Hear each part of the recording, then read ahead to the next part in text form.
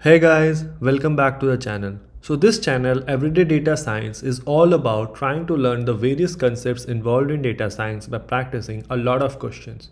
In this video, I'm going to solve this question on LeetCode called reported post and try to walk you through how we can develop queries in such problems. This question has been asked in Facebook interviews over the past two years. Okay, so let's jump right in and read what the question says. We are given a table called actions with five different columns user ID, post ID, action date, action, and extra. There is no primary key for this table, so it may have duplicate rows. Okay. The action column is an enum type which can take values like view, like, reaction, comment, report, share. So basically all the Facebook action, Facebook post actions that one can do. The extra column has optional information about the action such as the reason for the report or a type of reaction. Okay. We are asked to write a SQL query that reports the number of posts reported yesterday for each report reason. Okay. And assume today is 5th of July 2019. Return the result table in any order. Okay. Let's go through this example. So here we are given a bunch of records, right? And we need to report for each of the reasons how many posts were reported yesterday. That is on 4th of July 2019 okay. So the first thing that we need to do and let's uh, go through this and try to see. Okay. So for spam for reported posts right? So this was this uh, row is reported this is report report report report. So in total we have five reports. Now three of them are for spam two of them are for racism. But remember we also need to take care of the date. So it was on 4th of july right? So here 4th of july reported spam. 4th of july reported spam. 2nd of July reported spam. So this is this won't be included. 4th of July reported racism. 4th of July reported racism. So now out of those five rows that we had initially, we are now only left with four. Okay. Now we need to count how many posts were reported, right? So for these two rows, you see the post is same but was reported by two different users. But we know the question is asking how many posts were reported, not how many users reported a particular post, right? So if for both of these, post number of posts is equal to 1. Okay, this was already excluded. Now for racism, right?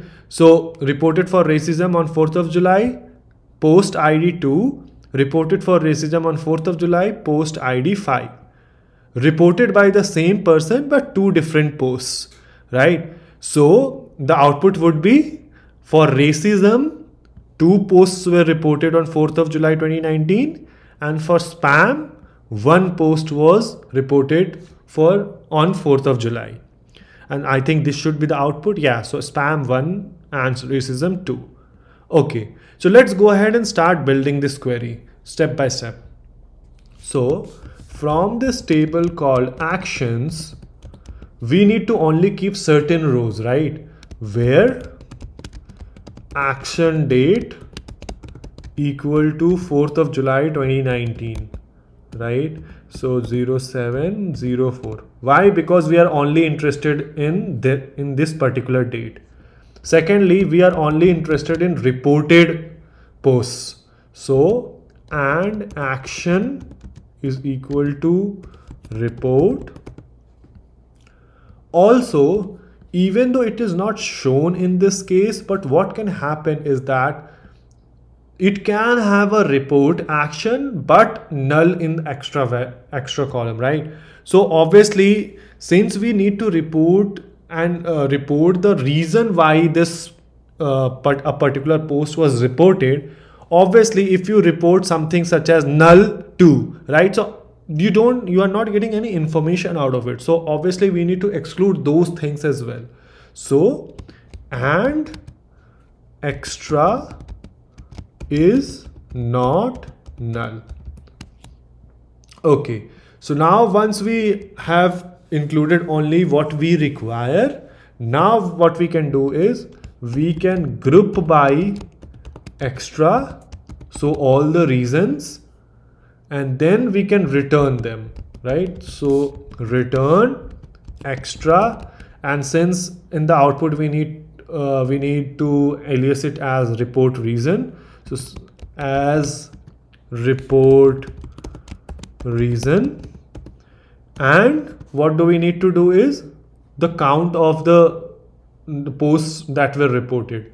So count distinct posts right? So how many posts? So distinct distinct posts right? So count distinct post id and we need to alias it as report count right?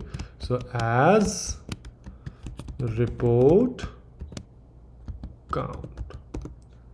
Okay so let's go ahead and run this and see if this passes the test cases. Yeah.